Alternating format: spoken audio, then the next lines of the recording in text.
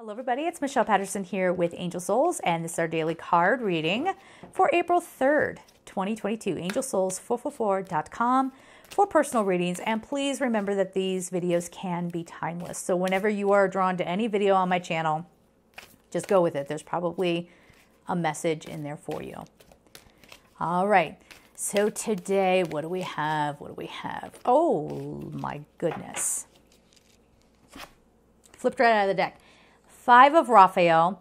Everything happens for a reason. Release regret and embrace the opportunities for happiness. Search for the silver lining. I'm telling you, this is not wanting to move on or feeling like, uh, this feels like the end of an era.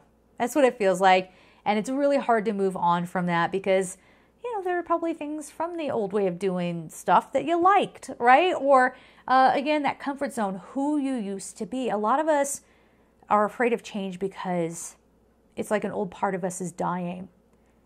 And that doesn't have to be the case. I mean, that old you built up this you. Okay, you're not separate beings. That that's still part of you, right? So, so that is uh, living in this new existence with you. So this really is about perspective and focusing on the future, focusing on that movement forward, as opposed to trying to hang on to the past, or again feeling like you're leaving people behind I know a lot of people will hold back on their success because maybe the people they're married to or their family of origin, maybe they're not ambitious people.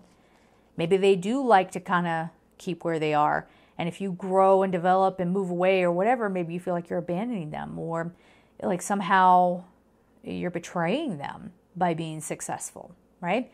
And it's a weird thing to hear on the surface, but if you really feel into that, a lot of people will hold themselves back because they don't want to be separated from people who don't want to come with them.